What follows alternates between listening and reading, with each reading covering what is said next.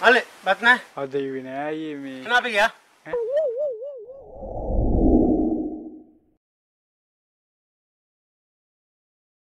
ඔන්න දැන් හවුල් ව්‍යාපාරවල විසුරුවාලීමේදී එහෙනම් අපි ගියා කියලා එහෙම ලේසියෙන් යන්න බෑ. මොකද හවුල් ව්‍යාපාර කියන්නේ හවුල්කරුවන්ගේ එකගතාවයක් ඇතිව තමයි මේ හවුල් ව්‍යාපාරවල වලට එළඹෙන්නේ. එතකොට විසුරුවාලීමේදීත් ඒ හවුල්කරුවන්ගේ එකගතාවය මත තමයි විසුරුවා ගන්න ඕන. පාර්ට්නර්ස් හතර දෙනෙක් හිටියත් පස් දෙනෙක් හිටියත් හය දෙනෙක් හිටියත් දහ දෙනෙක් හිටියත් ඔය එකගතාවයක් තියෙන්න ඕන විසුරුවන. දැන් මෙතනදී හවුල් ව්‍යාපාරයක් විසුරුවනකොට දැන් අපේ ප්‍රශ්නය අහන්නේ හවුල් ව්‍යාපාරයක් විසුරුවනකොට එකගතාවයක් නොමැති නම් මොකද්ද කරන්න කියලා. අපි කලින් බලමු හවුල් ව්‍යාපාරයක් විසිරෙන ආකාර දෙකක් ගැන. එකක් උසාවි නියෝගයකින් තොරව අනිත් එක උසාවි නියෝගයකින් උසාවි නියෝගයක් එක්ක හවුල් ව්‍යාපාර විසිරෙනවා. දැන් මෙතනදී හවුල් ව්‍යාපාර විසිරෙනකොට උසාවි නියෝගිකින් තොරව කොහොමද විසිරෙන්නේ?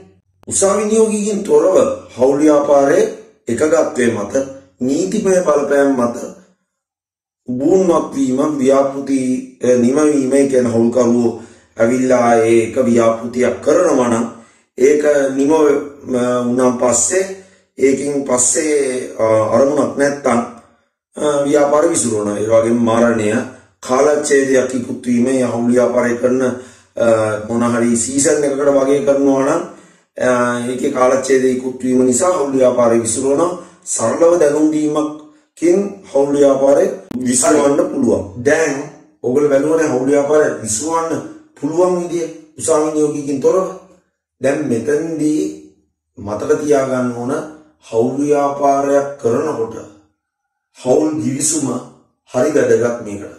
මොකද හවුල් ව්‍යාපාරයක් කරනකොට හවුල් ගිවිසුම වැදගත් වෙන්නේ හවුල් ව්‍යාපාරේ ඇවිල්ලා නිශ්චිතවම ගොඩක් වෙලාවට කියන නිශ්චිතවම හවුල් ගිවිසුමේ දාන්න ඕන විසිරෙනකොට මොනවද වෙන්න ඕන කියලා එක දාන්න ඕන. විශේෂයෙන්ම විසිරෙනකොට ලාභය බෙදාගන්නේ කොහොමද? පාඩුව බෙදාගන්නේ කොහොමද?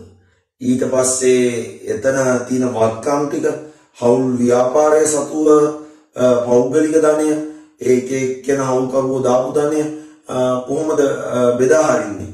ඊළඟට දැන් හවුල් ව්‍යාපාරවල ණය ගෙවන්නේ කොහොමද? ඒ ගත්ත ණය මේ මුලින්ම ඔක්කොම ටික අරගෙන අරගන්නවා ණය එතකොට ඒ ගත්ත ණය මොන අනුපාතයටද බෙදන්නේ?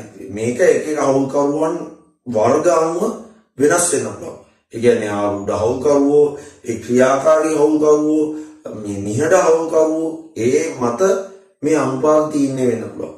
දැන් මේව ඉතාමත් වැදගත් හවුල් ගිවිසුමේදී නිශ්චිතවම සඳහන් කරන්න ඕන. දැන් මේ නිශ්චිතව සඳහන් කරේ නැත්තම් පොඩ්ඩක් ප්‍රශ්නයක් තියෙනවා උසාවියට ගියාත් ඒකෙදි ප්‍රශ්නයක් තියෙනවා හවුල් ගිවිසුමේ නිශ්චිත සඳහන් කරලා නැත්තම් හුඟක් වෙලාවට සමානව හවුල්කරුවන්ට බෙදෙනවා.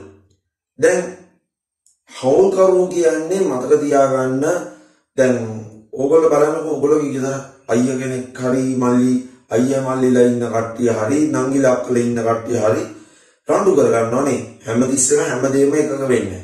ඉතින් ඒ වගේ තමයි දෙමෝපියෝ රණ්ඩු කර ගන්නවා සමහරලාක සමහරලාක මේ බෝයිෆ්‍රෙන්ඩ් ගර්ල්ෆ්‍රෙන්ඩ් රණ්ඩු කර ගන්නවා. එක එක රණ්ඩු කෙරෙල්ලයි වෙනවා. යාළුවෝ අතර රණ්ඩු වෙනවා, මිත්‍රයෝ අතර රණ්ඩු වෙනවා. මේ වගේ තමයි හොල් ව්‍යාපාරවලත් හැම දෙයකටම හැම ව්‍යාපාරය කරගෙන යනකොට එක ගත්වයකට එන්නේ නැහැ. හැම එක්කෙනාම එක විදියට හැසිරෙන්නේ නැහැ. දැන් මෙන්න මේ தත්වයේ උඩ හවුල් ව්‍යාපාර ටිකක් අමාරුයි කරගෙන යන්න. මොකද හවුල් කරුවන්ගේ හවුල් කරුවන්ගේ හැසිරීම මත තමයි ඒ එකගත්වය මත තමයි හවුල් ව්‍යාපාරය ගෙනියන්නේ. මොකද මෙතනදී ව්‍යාපාරයට අඛණ්ඩ පැවැත්මක් කියන එක ගොඩක් වෙලාවට නැති වෙනවා මොකද නෛතික පුද්ගලභාවයක් කියන දෙයක් නැහැ. සමාගමක් වගේ නෙමෙයි. සමාගමක් නීතිය ඉදිරියේ වෙනම පුද්ගලයෙක් ලෙස හඳුන්වුවත් හවුල් ව්‍යාපාරවල සීමිත හවුල් ව්‍යාපාර යනුවිට ඒක ලංකාවේ වැඩිපුර දක්නට ලැබෙන්නේ නැහැ. නෛතික පුද්ගලභාවයක් නැති හින්දා ප්‍රශ්නයක් වෙනවා. දැන් ඕකින්ද තමයි හවුල් ව්‍යාපාරවල අර්බුදයක් ඇති වෙන්නේ. දැන් බලමු ඇයි අපි උසාවි යන්නේ කියලා මේකට. උසාවි යන්නේ හවුල් ව්‍යාපාරවල එක ගාත්වයක්. නැති වුණාම උසාවිය. දැන් මේක උසාවි යන්නේ ඇයි? උසාවි යන්නේ දැන් හිතන්නකො මොකක් හරි මුල්‍ය වංචාවක්. ඊළඟට මොනවා හරි බැලුවොත් එහෙම මුල්‍ය වංචාවක් ඒ වගේම හැසිරීමේ අවුලක් සමහරවිට උන්මත්තක වීමක් ඒ කියන්නේ පිස්සු වැටෙන එක ඒ වගේ දේවල් වෙන්න පුළුවන්. ස්ට්‍රෙස් එකට හරි මේවට හරි වෙන්න පුළුවන්. දැන් එහෙම වෙද්දී හවුල් ව්‍යාපාරවල විශ්වාසය නැති වුණාම හරි ගෙනියන්න බැරි වෙනවා. ගෙනියන්න බෑ. එතකොට දැන් විශ්වාසයක් එකිනෙකට විශ්වාසයක් නැති වුණොත් ගෙනියන්න බැරි වුණාන් පස්සේ විශ්වාසයක් නැති එක්කෙනාව අයින් කරලා යාට හවුල් ගිවිසුමේ අනුව ලාභය මේ දෙන එක ටිකක් තේරුමක් නැති වැඩක්. තේරුමක් නැති වැඩ නෙවෙයි තේරුමක්ම නැති වැඩක්. සමහරවිට ක්‍රියාකාරීව ව්‍යාපාරයට මේ හවුල්කරුවෙක් විදිහට ක්‍රියාකාරී වෙලා සහභාගී වෙන්න එයා වෙන වැඩ වැඩ කරනවා එයා නිකන් ලාභය අරගෙන යනවා ඉතින් එතකොට ක්‍රියාකාරී හවුල්කරුවෙක් නම් එහෙම හැසිරෙනවා නම් එහෙම මේව කරන්න බෑ.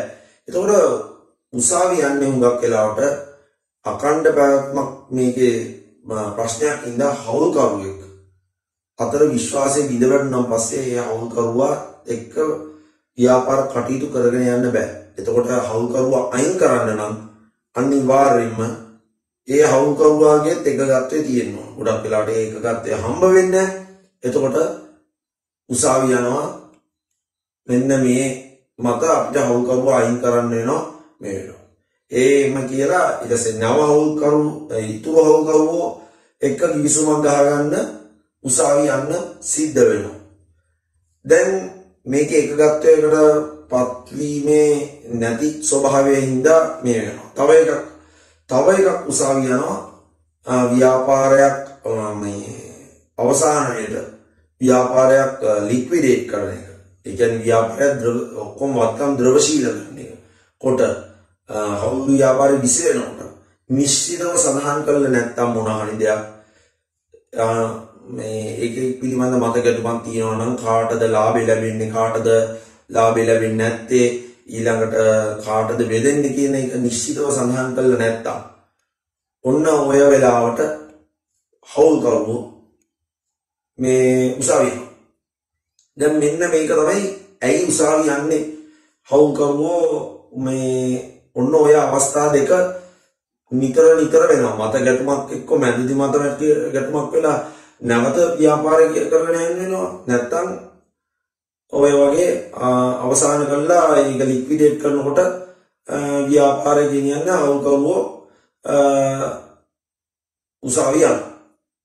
දැන් ගොඩක් වෙලාවට උසාවි යන්නේ නැත්තම් තමයි හොඳ.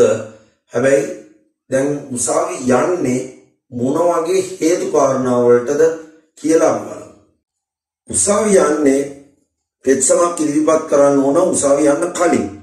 එතකොට හවුල්කරුවෙකු උමතු වුණාම මං කිව්වාගේ ඔත්පල වුණාම හවුල්කරුවන්ගේ යහපත් හැසිරීම කිසියම් හවුල්කරුවෙකුගේ givisumට පටහැනි අන්දමින් කටයුතු කරන එක ඒක ඊටසේ ඒක අහන්නේ නැති එක givisumට අනුව කිව්වත් අහන්නේ නැති මොකද ඉස්කෝලේ ටීචර්ලා වගේ මේ මේක බලන්න කියලා කියන්න බෑ වැඩි හිටියොත්. හවුල්කරුවන්ගේ ව්‍යාපාර ඇල්ම තෙවැනි පාර්ශවයකට ලබා දුන්නම. ඒ කියන්නේ හවුල්කරුවන්ගේ ඇල්ම විශේෂයෙන් වැදගත් අන්තක දෙවනි පාර්ශවයේ හවුල්කරුවන්ගේ givisුමේ නැත්තම් මෙහෙම බාර දෙනවා කියලා එතන ප්‍රශ්නයක් වෙනවා. අන්තර ව්‍යාපාර ඇල්ම නොමැති අවස්ථාවක ව්‍යාපාරයේ දිගින් දිගටම අලාභ ලබන කොට එතකොට විසිරෙන්න වෙනවා. මූල්‍ය වංචා අපරාධ හවුල් ව්‍යාපාරය තුල දී හෝ ඉන් පිටතදී හවුල්කරුවෙක් හරි හවුල්කරුවන් කිහිප දෙනෙක් හරි ගල්ලා තිනවනම් එතන ප්‍රශ්නයක් විශ්වාසය පිළිබඳ ප්‍රශ්නයක් ඇදෙනවා. අනිත් එක සාධාරණීකරණය කළ හැකි වෙනත් හේතු තියෙනවා. ඒගොල්ලෝ එකක් දැනගන්නවා. මේ හවුල් කවුරු අපි දැන් සිද්ධි ටිකක් කිව්වනේ. මේ සිද්ධි වලින් ගොඩක් ඒවා ගොඩින් බේර ගන්න පුළුවන්. හොඳේ. නීත්‍යානුකූල නැතුව එකගතාවයන් මත බේර ගන්න පුළුවන්. හැබැයි සමහර සිද්ධි තියෙනවා ටිකක් අමාරුයි.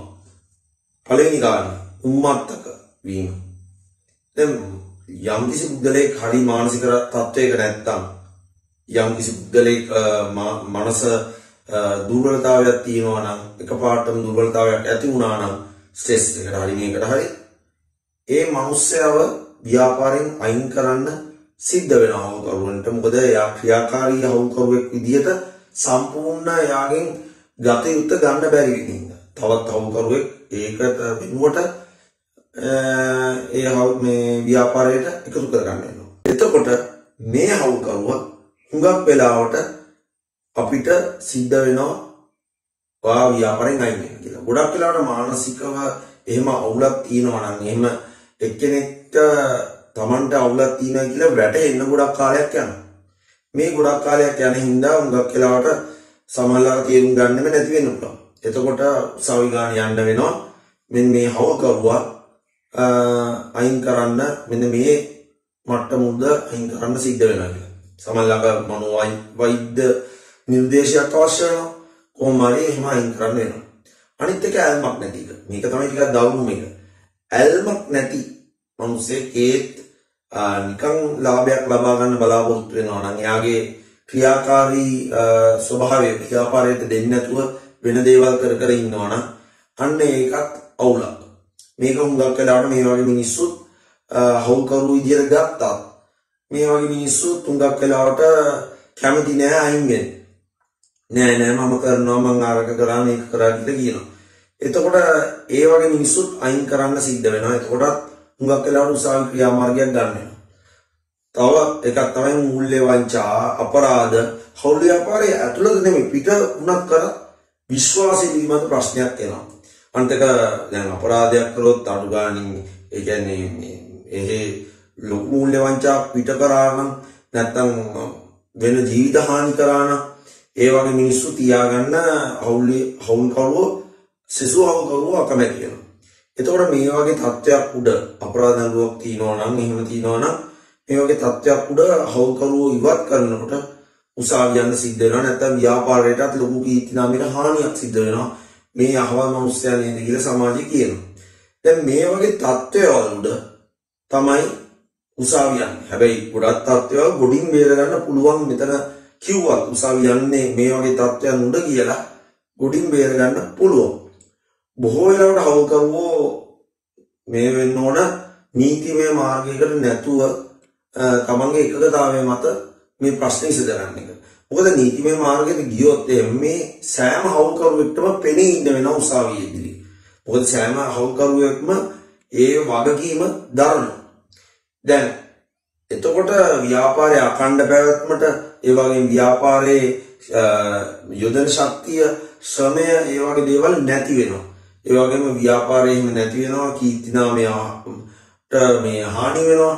ඉතින් අන්න ඒ වගේ තත්ත්වයන් උඩ හුඟක් වෙලාවට හොඳයි හවුකරුවෝ උසාවි නියෝගයකින් තොරව ව්‍යාපාරයක් අවසන් කරනවා නම් හරි නැත්නම් ඒ ප්‍රශ්න විසඳනවා නම් ගොඩක් වෙලාවට හොඳයි. තවත් එක් සෙග්මන්ට් එකක් අපි ඊළඟ දවසේ හම්බෙමු, ඉරිදා හම්බෙමු. එහෙනම් මේ දුරකථන අංකයට ආමතන්න පුළුවන්. ඕගොල්ලන්ට ඔන්ලයින් ක්ලාසස් වලට රෙජිස්ටර් වෙන්න පුළුවන්. මේ වගේ අලුත් දේවල් මේ වගේ නැවුම් ව්‍යාපාර අධ්‍යයනයේ ප්‍රායෝගික දේවල් කතා කරන්න මේ channel එකට subscribe කරන්න like කරන්න Facebook එකේ. එහෙනම් ඔබ සැමට සුබ දවසක්. එහෙනම් කොල්ලෝ අපි ගියා.